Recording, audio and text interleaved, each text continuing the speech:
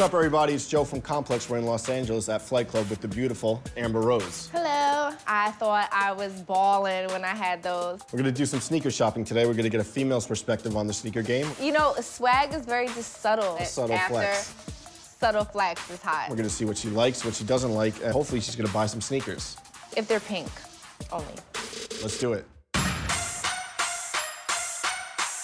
Amber, let's talk about growing up in Philly and as a child, what were your sneaker habits like? Did you always have the best sneakers? I did not always have the best sneakers. Uh, I grew up very poor, the single mom. I actually remember getting made fun of in school because my sneakers were so bad. I would call my dad and I'd be like, Dad, can you please buy me some sneakers? And he would say, Does the sole have a hole in it? Well, no, it doesn't have a hole in it, but I still need new sneakers. Like, they're dirty as fuck.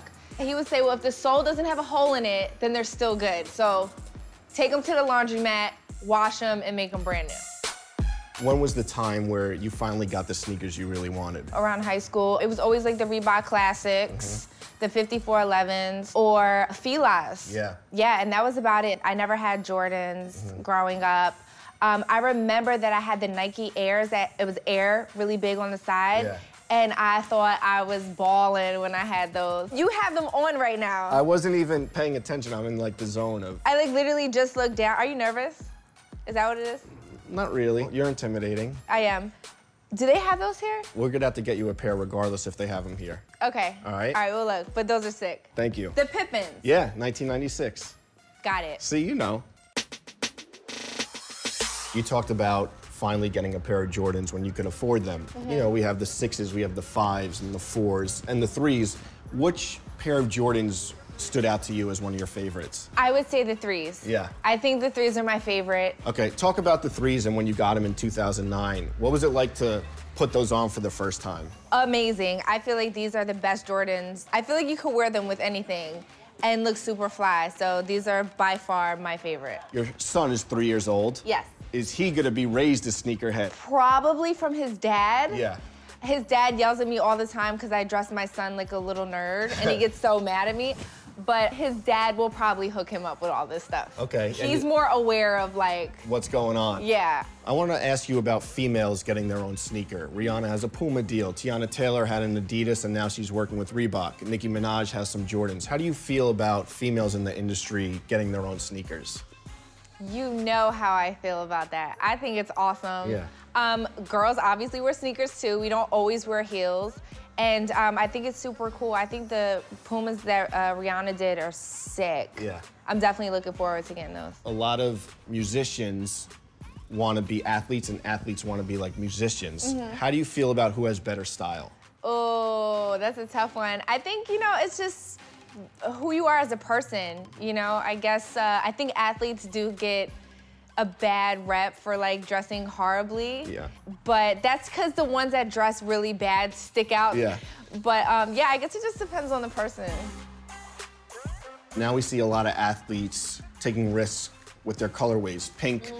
Foamposites, and Kevin Durant has floral prints. Mm-hmm. Do you like that trend? I just think guys that wear pink is really sexy. So if I wore these, it, you'd be cool with that. I would totally have sex with you I like if, that. if you wore those. All right, I, I need these in 11. Just now, for sneaker culture, a lot of dudes race to Instagram to be first with a new pair of sneakers. How do you feel about that? I think it's very corny. Really? I would be turned off by that.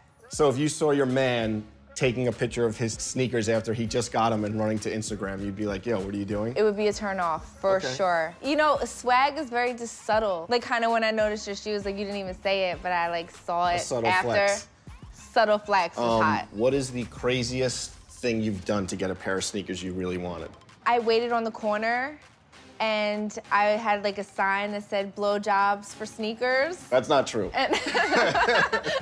No, I um I, I don't think I ever did anything crazy for sneakers. Okay, fair enough. We talked about everything growing up, Jordans, dudes wearing pink. Yeah. Let's see what sneakers you're feeling. Let's try them on. Okay, Let's cool. go. I got those. Oh, I have these. I have those already. I have those too. What about these? Those are cool.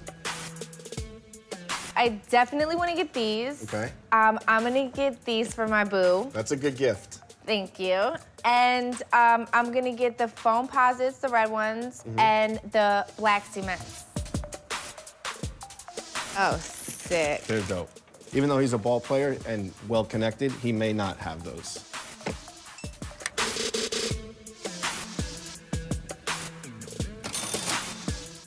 So, as you guys can see, Amber came through, bought four pair of sneakers for herself, one for her boyfriend.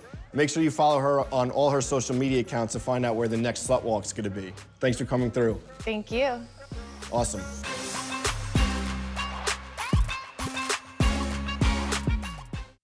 I'm saying it's all about being smart. You gotta be quick. Sorry, we don't know you. I don't want you to do this. That's why I do it.